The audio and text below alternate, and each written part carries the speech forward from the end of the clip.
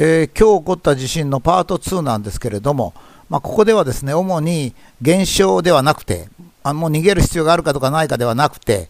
えー、NHK が報道しない今度の地震のとか津波の問題点根本的なことですね。これはあの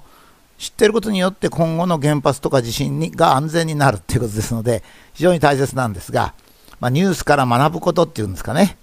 まず地震ですけれども気象庁はこの地震が、えー、東北大震災の余震だと言いましたけど、まず一つは余震であろうとなんだろうと、えー、やっぱりかなりの大きな影響があるものは、予知、予報しなきゃいけませんね。だけど今はもう福島県沖なんかで地震が起こるとほとんどん言っておりません。科学的にはですね、東北大震災まではどちらかというと日本は押し進める力、両側から挟,、む力が起こって、それで地震が起こりました。地震が起きてからは、やや引っ張る力の地震が増えておりまして、それもだんだん沈滞しておりますが、今度の地震はその一種類だと思われますから、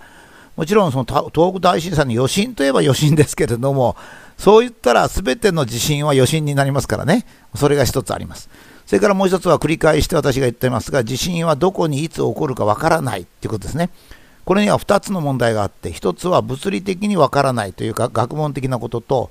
もう1つは東北東京の直下に地震が起こると言ってる地震がちょうど予想震度があ予想マグニテュードが7.3なんですね。今度7.3が7.4に訂正されましたが、まあそのぐらいなんですね。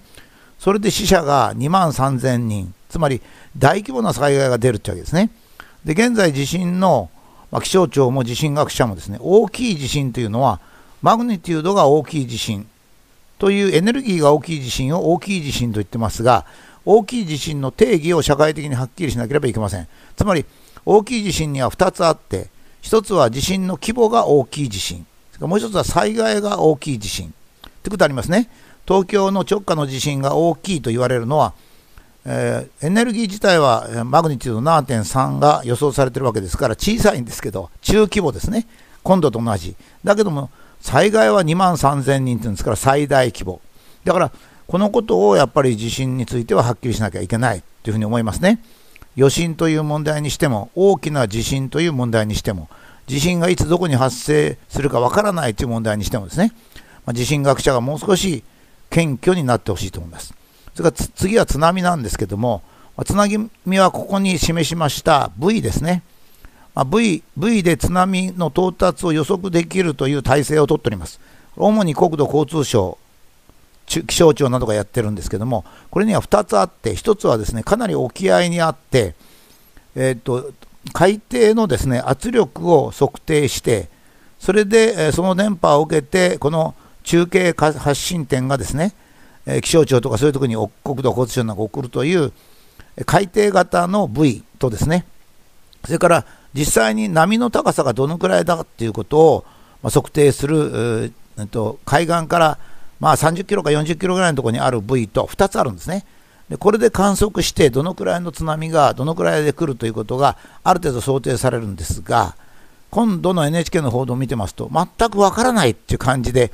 第2波も第3波も来るかわからないっていうことを言ってるんですね。これが実は大川小学校、えー、っと大震災の時の東北大震災大川小学校の大きな犠牲を出した一つの問題点だったわけです。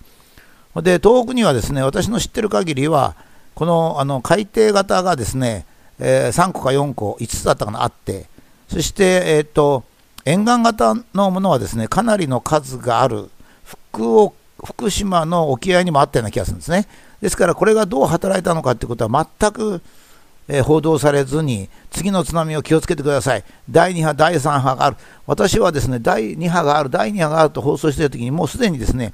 気象庁にはこの V からの津波の第2波第3波がどういう状態かというのを分かっていたと思うんですね。これが、まあ、大川小学校の大きな被害にもなりましたし私たちはこの V がですねどのように働いているのかということを知る必要があるということですね。それから原発についてはですね、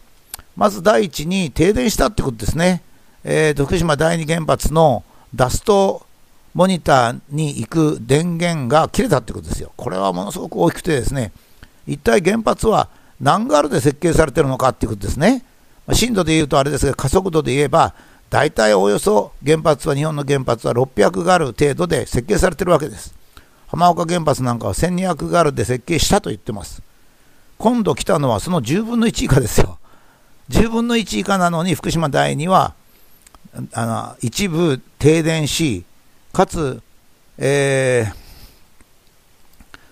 このあれですね燃料プールの核燃料プールの水が減ったということでポンプが止まった。この問題はいっぱい問題がありますね。まず第一に設計は何ガルでやったのかっていうことですね。設計が600ガルなのに例えば6ガルでこういう状態になったと、まあ、今度大体そうなんですが。そうすると一体設計はどうしたのってことですね。じゃあその時に燃料プールの電源を切るということは冷却が止まりますからものすごく危険なわけですね。で現在は2011年から運転が止まっておりまして、まあ、かなり核分裂反応は弱まっておりますからなんとかなって、ま、1週間ぐらい余裕があると。それで、えー、と1時間半止まっただけだから温度は1度しか上がらないという説明を NHK なんかしてましたけれどもいやいやもう動いてる原発だったらもっと新しい燃料が入ってますからね。燃料プールにですよ。取り替えたばかりとかそういうの入ってますから、まあ、それがどういうふうになるのか。一体設計っていうのは何をやってるのか。私まあ工学系なんですけども設計っていうのはですね600ガルで、まあ、600ガルっては結構そのまあ震度はいろいろ人間が感じることなので、えー、必ずしも比例しておりませんが大体震度6から7 6強から7っていうところなんですよ。そこが大丈夫だと言っていながらそれからかなり低い5弱でですねプールの水の変化であの東京電力はプールの水が溢れてないと。変化だって言ってますけど変化の方がもっと大変なんですよ。プールの水が漏れて警報が出てそしてポンプが止まったんならまだ分かるんですけどあのプールの中の水がこうこう上下あのざわついて部分的にざわついて低いところが出たって言ったらそれはもう全然ナンセンスなんですね流体の計算をちょっとしとけばどのくらいの揺れの時に、えー、プールの中の水がどういう状態になるかっていうのはすぐ分かりますもうそれはもう本当に簡単な流体計算でこのような流体計算ができる学者っていうのはもう各大学に数名以上はいるっていうぐらい優しいことなんですよ。それをやってるわけですからセンサーをいくつつければ水面のセンサーをいくつつければ地震が起きてもそういう誤作動をあの彼らは東京での誤作動っていうことですよ結局あのこうセンサーのつける場所が悪かったっつってるわけですからねそれで電源が落ちるっていうのは非常に大変なことでまあ、そういうまあ言えば重大故障っていうのがそういうことで起こるっていうのはまあ非常にひどいわけですね。もちろんその一番いけないのはマスコミが地震で原発が停止したとか停止中の原発がって言ってますけど停止中じゃないんですよ。あこあ今日もね、えー、停止中の福島第二原発がと NHK 言ってましたけども東京電力は運転を継続してますって言ってますよ。これはどうしてかって嘘ついてるからそれがバレているわけですよね。原発側運転中っつってるわけです。運転を継続してますって。なんで運転を継続してるかっつったら、核反応が起こってるからですよ。核反応っていうのは原子炉の、その、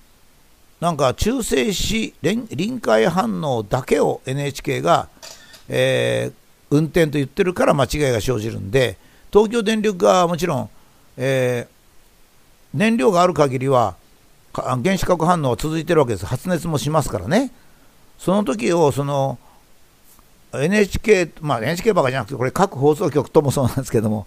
放送局は全部運転を停止し、停止中の福島第二原発。停止中じゃないんですよ。中性子の臨界反応だけが止まってて、原子核反応は継続して、運転員もいる状態なんですよ。これが福島第二なんですよ。もう5年以上止まってないんですよ。動いてるわけですよ。それを停止中という停止中の福島原発第二原発と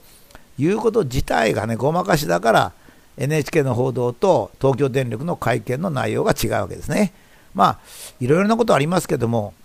ま、600ガルで設計したものが6ガルぐらいでこういう状態になるっていうことをやっぱり我々はですね正面から受け止めなきゃいけない。あの原発再開賛成の人は経済学者の方に多いんですけどもその人もですねこのこのこの際なんで福島第二原発止まってるはずの福島第二原発のプールの温度が上がるのか。ということですね。爆発に至るわけですからね。これは。やがて爆発に至るわけですから。とかですね。まあその中性子の臨界反応とが原子核反応の一部であるというぐらいの知識を知らないとですね